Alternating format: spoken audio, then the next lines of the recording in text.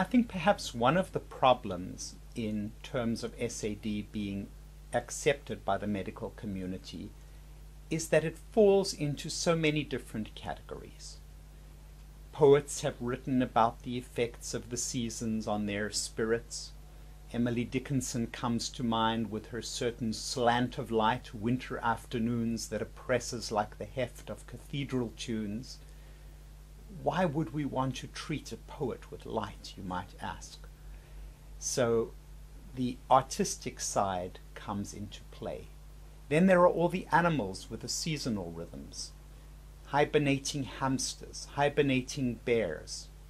Maybe we should just allow ourselves to hibernate a little bit in the winter. Maybe everybody is a little under the weather. Why make it into a pathology?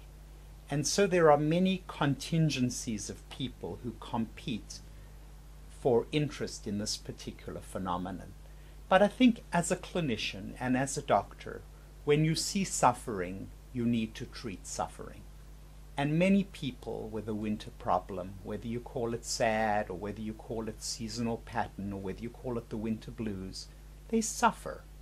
They lose relationships, they lose jobs, they feel despairing, they don't fulfill their goals and dreams and ambitions because half the year they're not their best selves.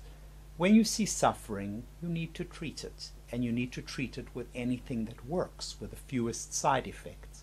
And that's really where I'm coming from. Let's forget these different contingencies and these different interest groups and just focus on a person and a problem and alleviate suffering in every way we can.